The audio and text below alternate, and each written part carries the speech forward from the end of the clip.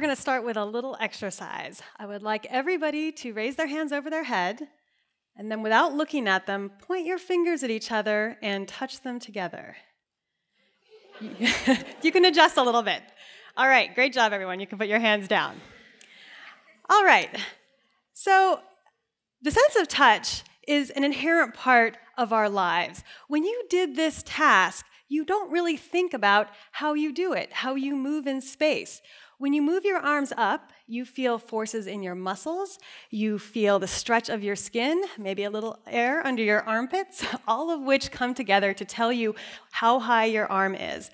But that alone wasn't perfect to get it into just the right spot.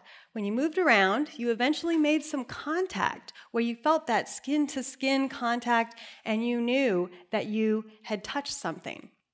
All of this information together comprises our sense of haptics, our sense of touch, and I'll be talking about this sense and the technology that's related to it. And because haptics is often so underappreciated, I'd like you to imagine for a little bit what it's like to lose your sense of touch. Now, we have other senses up here. Sight, you could imagine what it would be like to lose your sense of sight, at least for a little while, by covering your eyes. You could do the same thing with hearing. Smell and taste, maybe a little bit more difficult, but what would it be like to live without the sense of touch? We have some inklings of this from our own experience.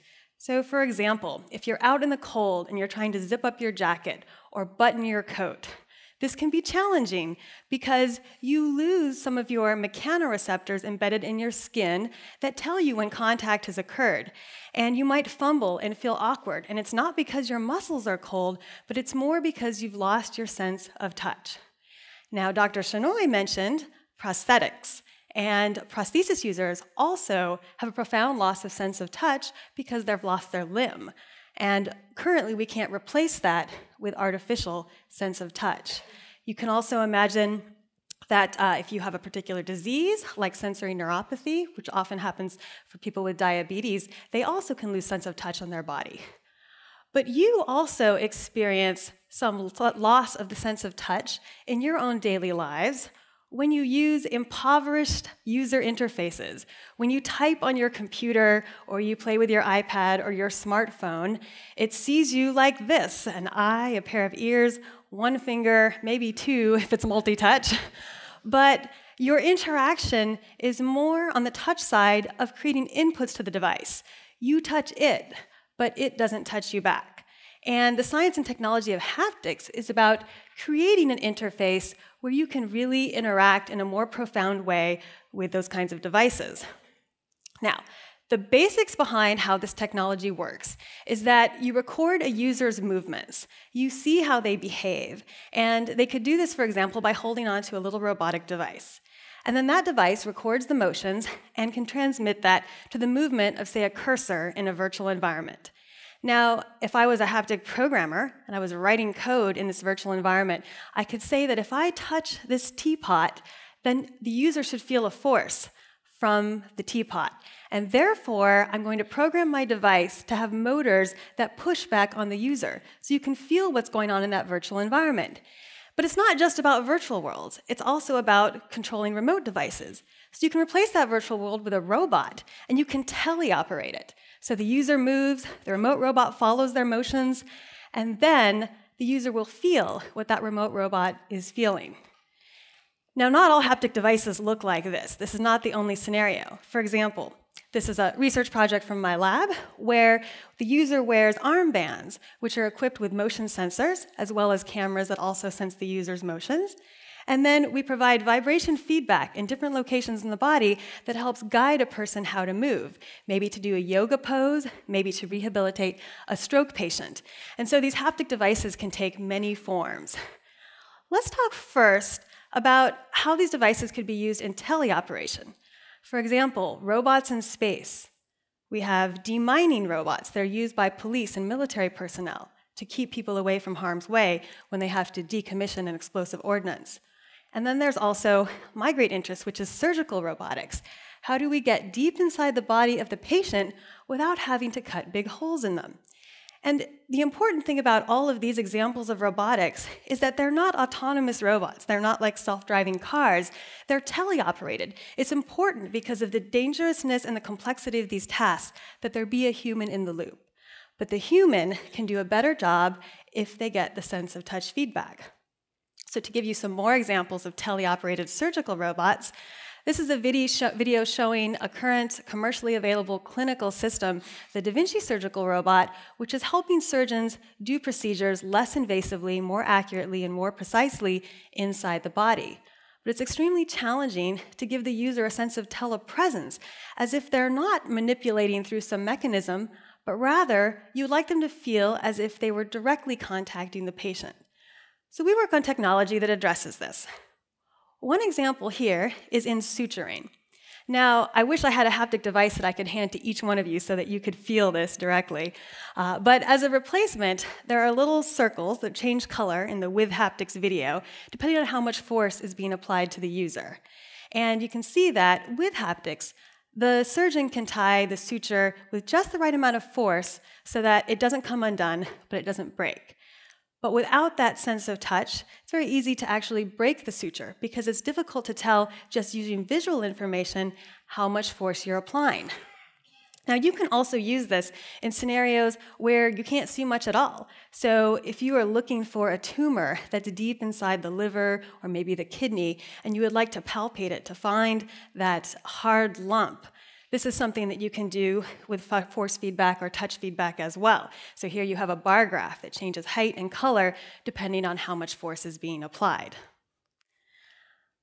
But giving forces, that is, these forces that push back on the arms, as well as little color bars, uh, isn't the only way to do it. So we try to come up with other clever techniques to fool the user into feeling something that isn't really there. So here's an example. If you were to tap on a surface with a stylus, like a pen, you feel gross forces in your arms that push you back, but you also feel a little bit of stretch in your skin. And that is another important cue that tells you that you've touched something. And so we've designed devices that just stretch the skin a little bit at the fingertips that give you a cue that you've touched something without having to have a large device that applies forces back to you. So here's an example video of someone using one of these devices. It's a skin stretch device. The fingers actually aren't on the skin stretch uh, red dot, which is actually pushing on the skin so you can see it moving. But the idea is that when the user moves around, they can control a remote device or a virtual object, and then they can get this skin stretch feedback. And it turns out that a little bit of feedback can do a lot. In fact, it can be almost as good as having a full force feedback experience. So, apologize for a slightly bloody picture, but we're talking about surgery here, so let's be realistic. We can use robotics and haptics to improve surgery, but we would also like to improve the surgeon. And surgical simulation and training is another great area for haptics. So people are designing devices to mimic the environment in which people do surgery. So you can take real minimally invasive surgical tools like the one shown here and replace them with artificial tools which are attached to motors on the end that apply force to the hands so that you can experience doing surgery in a virtual environment. Because after all, everybody uh, has someone has to be the first patient of a new surgeon, right? And wouldn't you rather that person be a virtual person that could be practiced on in one of these types of environments? And yet, this is still very limited. Uh, we can do laparoscopic surgery because we're holding on to long, thin instruments and we can put motors at the bottom of them. But the holy grail of haptics is actually to do something that's more fully interactive, that's something beyond this kind of impoverished user interface. And so, one of the holy grails of haptics is that you could create a kind of digital clay where you could take a surface and you could change its mechanical properties as well as its shapes. So here's a design in my lab, which uses a combination of silicone rubber and coffee grounds and air, both vacuum and pressurized air, in order to change the different feel and shape of a virtual surface. And so, by designing devices like that, we reimagine what it means to be a haptic interface. Can we change the way that things feel so that when you reach out and touch them with as many fingers as you want, that you experience something realistic? And the hope with this device is it could be used in medical training for teaching people how to find lumps and differentiate things like tumors and cysts because they feel and shape slightly differently. All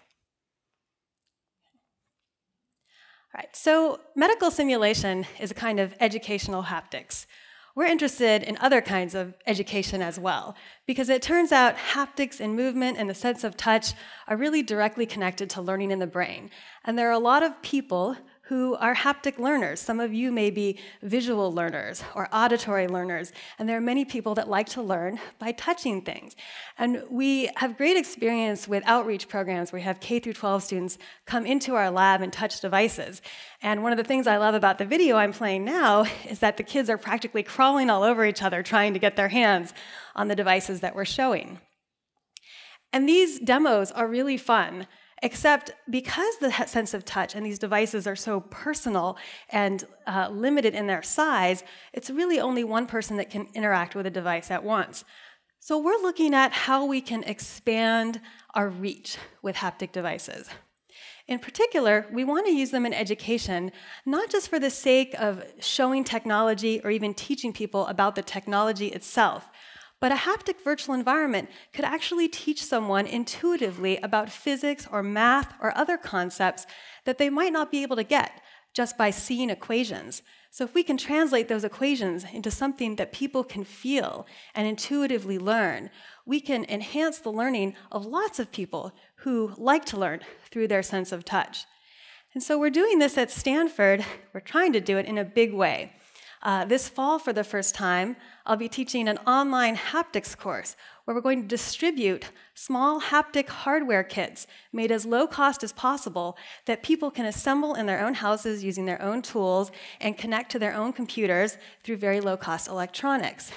And the idea behind these sorts of devices is that we'd like to get these into the hands as many as people, as many people as possible. And it's not just about us teaching them, but we want to learn from the population of people that will use them. If we get haptics into the hands of makers, into the hands of people that are creative and innovative, and maybe aren't coming from the same perspectives as me and my graduate students, there's the great potential to be able for us to learn from them and crowdsource haptic design. So I want to conclude by thinking a little bit about how wonderful the human sense of touch is as my students and researchers in my lab are so gamely demonstrating, there are so many compelling haptic interactions that we have with the world around us, both inanimate objects as well as people. And we're not that close yet to being able to recreate all of these kinds of sense of touch in these sorts of interactions. But I'm not sure that we ever want to get to a perfect virtual world. We would like to be able to experience emotion and touch with people from afar. But in my own life, when I hold my toddler's hand or stroke my daughter's cheek, I would like to know that I'm there physically and that we have that connection. That's something I never want replaced with linkages and motors. And all of this research that we do in technology has only served to me to impress upon the amazing emotion and personality of the human sense of touch. Thank you.